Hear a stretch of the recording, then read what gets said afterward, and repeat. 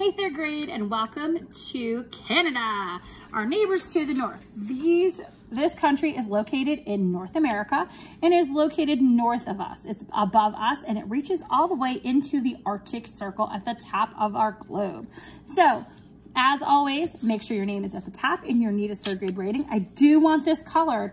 It should look like Canada. So this is the falls. These are some kids. Make sure you color everything as neatly as you can. So for today, we're going to be talking about one of the most, most famous landmarks in Canada, Niagara Falls. So um, a couple of us talked about this during math. If you have ever been to Niagara Falls with your family and your family has a picture handy, um, let's post that in Dojo. So if you have a fall, picture of you in the falls in Niagara Falls, let's see if you can post in Dojo. If you can't find it, that's okay. If you've been, awesome and you can't find it and you don't have any pictures of it, I have been a few times. I'm gonna have to see if I can find my pictures from Niagara Falls.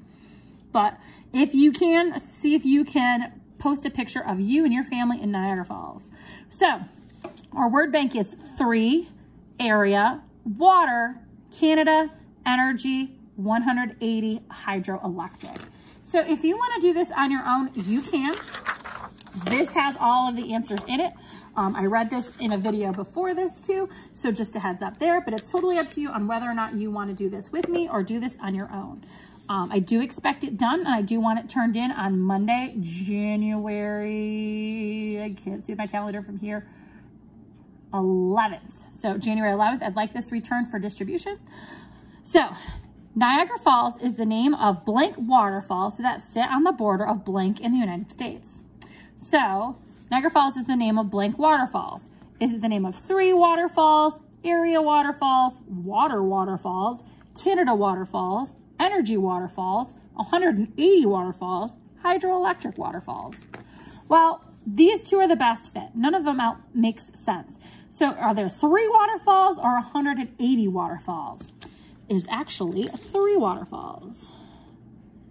So we're gonna cross off a three. And remember, at any point in time, you can pause this or you can come back to it. Um, Niagara Falls is the name of three waterfalls that sit on the border of blank in the United States. The border is the invisible line that separates these countries. So what country are we talking about? We are talking about the country of Canada. It is a proper noun, so it should be capitalized. Neatest handwriting, take your time. If you need to pause it, feel free. And I crossed it off my list, so I know that I have two down. So Niagara Falls is the name of three waterfalls that sit on the border of Canada and the United States. These giant waterfalls are more than blank feet tall. Now, if I'm looking up here, the only one that really makes sense is 180 feet tall because we're talking about the height of something. So these giant waterfalls are more than 180 feet tall. It's also a power source for the surrounding blank. Oops, I forgot to cross this off. It's a power source. So we get our power from these waterfalls for the surrounding area, the surrounding water, the surrounding energy, or the surrounding hydroelectric. Well, it's a power source for the surrounding water doesn't really make sense because it's not, we don't power the water. The water is the power for the surrounding area.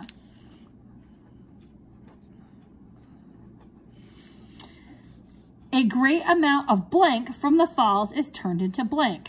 Now, what, oh, we're gonna cross that area. What is it in our video yesterday that we heard that the falls has a, a lot of?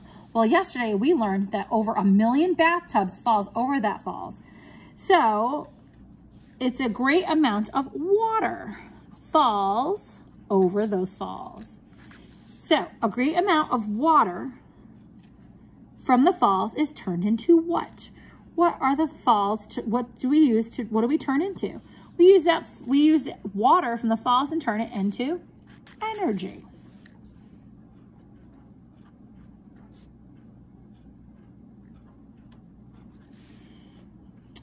This type of energy is called hydroelectric. This part of hydroelectric, that's hydro, that means water. That's a suffix that means water. So it's hydro electric. So it's power that comes from water. E-L-E-C-T-R-I-C. Hydroelectric power. So I do want the words Niagara and Falls colored in with crayons or colored pencils or markers, however you choose to do it. Just be careful. You don't want it to go through on this if you're going to use markers because you're going to need to finish that up. But I do expect both of these things colored in beautifully. And we're going to stop there for our book on Canada. We're going to come back tomorrow to talk about food and the flag. So two more pages to do. All right, food and the flag coming at you. Bye, third grade.